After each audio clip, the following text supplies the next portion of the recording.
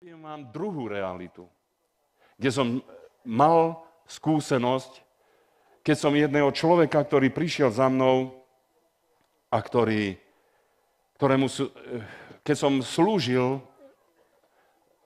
v cirkvi a prečítal som slovo, že a teraz bude, už pučí na púšti, už teraz vychádza to Božie požehnanie. Z Izajáša som čítal to slovo a viete, čo sa stalo? Jak som čítal vierou a s, takou, s takým odhodlaním, že áno, teraz už začína púčať prebudenie, tak jeden z tých poslucháčov, ktorý tam bol, prišiel tam ku mne a sotil ma dole z kazateľní.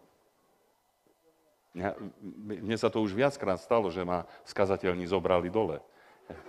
A to aj u vás v Ostrave. Raz na mládežníckej konferencii v Ostrave kázal som Božie slovo a jednému baníkovi sa to ne, nelíbilo. Viete, on bol taký plecnatý, také bicepsy, tricepsy. A, a tak prišiel tam ku mne a chytil ma takto, viete, ako proste takto ma chytil a takto ma položil na bok a hovorí, lidi, ja vám neco žeknu. Takže mal som už takéto skúsenosti. A teraz tam u nás v Komárne kážem Božie slovo, že teraz už pučí, teraz už pučí to, to, to prebudenie, to, tá milosť Božia teraz pučí. A tento človek, neznámy človek, ja neviem, ja som ho nikdy predtým nevidel, E, on tam sedel a prišiel dopredu a strčil ma dole z kazateľni. A tí naši bratia tiež sa nedajú zahambiť, tiež majú aj bicepsy, aj tricepsy. Prišli k tomuto bratovi, e, teda k tomuto priateľovi, tak ho potľapali po pleci a povedali, ty budeš neskoršie, teraz kazateľovi dáme. A tak ho odviedli, posadili ho na stoličku. A skutočne tento človek prijal pána Ježiša. Uveril v Boha, prijal pána Ježiša, ale vždy som videl, že niečo v jeho živote je niečo skryté, niečo, čo nikdy nikomu nevyznal. A jeden rok som sa venoval tomuto človeku, ale viete, ani z voza, ani na voz. Jednoducho to sa nedalo ďalej s ním pokročiť. A moja manželka išla do pôrodnice a rodila vlastne e, naše piaté dieťa, a ja som o 10. hodine večer uložil naše deti do posteli spať a e, už som myslel, že teraz je čas, aby som ja mal svoju chvíľku s pánom. A naraz zvoní zvonec. Otvorím dvere a vo dverách stojí tento muž. A hovorí, Alexander, nehnevaj sa, že ťa teraz nočnú hodinu vyrušujem, ale ja som sa rozhodol, že už ďalej nebudem skrývať pravdu ja som ťa vlastne klamal doteraz. A hovorím, a čo si ma ty klamal? Hovorím, mňa si neklamal. Ak si klamal, tak si klamal sám seba. Hovorím, mňa si neklamal. Ale ak chceš vyznať, čo si klamal, tak mi povedz. A hovorí, vieš, už rok sa mi venuješ a vidím to aj na tebe, že, že si z toho sklamaný, že nevieme sa dostať dopredu v tých duchovných veciach. A ja som ti nepovedal, že keď som žil vo svete, ja som urobil krvnú zmluvu so satanom tak vám poviem, že až mi mráz prešiel po chrbte.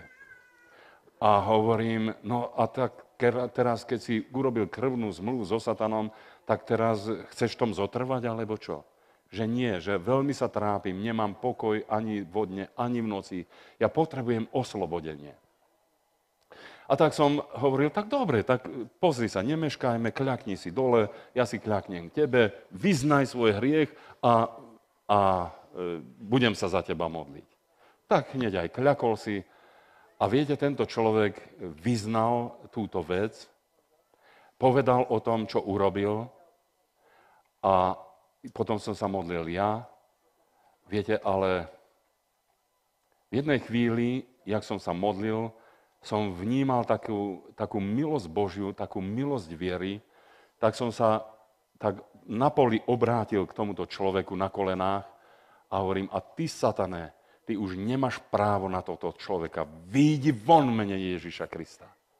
A jak som to povedal, tohoto človeka neprirodzeným spôsobom vymrštilo z kolien, vrhlo ho to e, cez celú obyvačku letel a ostal na podlahe mŕtvy.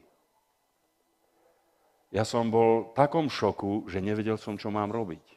Pozerám sa na neho, vidím, že nedýcha, vidím, že žiadne známky života, že bol vlastne to telo tam úplne bez známok života. Nemal som v dome telefón a e, proste ani som nemohol opustiť dom, pretože deti mi ležali v posteli. Viete si predstaviť tú moju ťažkú situáciu ako otca, manželka v nemocnici, deti spia, e, v obývačke človek, ktorý nedýcha, proste e, zložitá situácia, nemáš telefón, nemáš kde ísť. Tak jeden, jediný telefon ostal k pánu Ježišovi hore. A Duch Svetý ma uisťoval, že e, nehľadaj pomoc u ľudí, duchom si začal tento boj a duchom tento boj dokonaj. Tak som prišiel tomuto nehybnému telu, zodvihol som svoju ruku a hovorím, mene pána Ježiša vstaň. Ani sa nepohol. Ale vnímal som, ako Božia viera vstupovala do mojho srdca. Viete, e, to nie je viera človeka, ani to, že ja verím. Nie, to je, to je milosť aby ste pochopili, Júda o tom hovorí vo svojom liste, e, vo svojom liste áno, že zápaste za vieru rastadanú svetým. A to je tá viera, e, ktorá, ktorá sa prejavuje v daroch Ducha Svetého. Nebudem o tom rozprávať ďalej. A ja som vnímal, že práve táto viera, o ktorej Júda hovorí, že vstupuje do môjho srdca. A tak som druhýkrát zavolal, mene pána Ježiša ti hovorím, staň. Ani sa nepohol. Ale čo som si všimol, že ešte väčší prídel viery. Proste stupňovalo sa, že, že tá viera sa stupňovala v mojom srdci a v mene Pána Ježiša Krista ti vyhlasujem slobodu, vstaň. A vtedy som videl, ako sa pohlo jeho víčko a vtedy sa začali jednotlivé časti jeho tela hýbať a už som videl, že je v ňom život. A tento človek sa posadil a hovorí, Alexander, čo to bolo so mnou? Hovorím, ja neviem, čo to bolo s tebou. Ja som vyhnal z teba diabla. Ty si preto prišiel, že si sa s ním zviazal, že si s ním sa spriahol. Ja som ho vyhnal z teba, ty si mi tu ostal, ja neviem, čo bolo s tebou. Nedýchal si, nezjavil si známky života. Ja len toľko to viem. Ty mi povedz, čo bolo s tebou. A teraz vám poviem to, čo vydal svedectvo tento človek. Viete, on svoju dušu zaviazal satanovi. E, písomne. Krvou zapísal sa diablovi a vlastne tá duša jeho bola zviazaná so satanom. Ja som nemal skúsenosť v tejto oblasti, ani nikdy som žiadne takéto knihy nečítal, ani nejak som sa o to nezaujímal, a tak som ja prostete svojho srdca urobil som to, čo som videl v písme, že mám urobiť. Ale mal som urobiť ešte jednu vec. Mal som rozviazať, zrušiť túto zmluvu. Mal som mene Pána Ježiša Krista rozviazať ten, ten, ten, e, to zviazanie tej duše so satanom a až potom som mal vyhnať satana. Ja som to e, dovtedy nevedel. A ja som tak, také prostote svojho srdca vyhnal toho diabla a tento človek povedal, v momente, ako vyšiel z neho ten diabol, tak vytrhol jeho dušu a zobral ho dole do pekla. A tento človek mi doslova do písmena rozprával veci, ktoré tam videl, o ktorých Pán Ježiš Kristus hovorí, že čo je v pekle. Že je tam škrípanie, že je tam, tam plač, volanie o pomoc, že tam je zúfalstvo a proste tma a beznádejnosť to všetko, keď hovoril, tak jednoducho som to počúval a videl som, že tento človek uh, v tom zhrození z toho všetkého, z čoho sa vrátil, on mi to hneď sviežo mi to všetko rozprával. A potom mi hovorí, a vieš čo, Alexander, som ešte tam videl. A v tom momente, viete, Duch Svetý mi povedal, zabráň mu, aby hovoril. Nech ani slovo už ďalej nepovie tak som mu povedal, buď ticho, nechcem počuť, čo si tam ešte videl. Viete, čo mi chcel viacej povedať, čo bolo v písme, tak to Duch Svetý nedovolil. A ja som okamžite posluchol. Zabránil som mu, aby ďalej hovoril. Hovorím, nehovor mi o tom. Nechcem o tom počuť.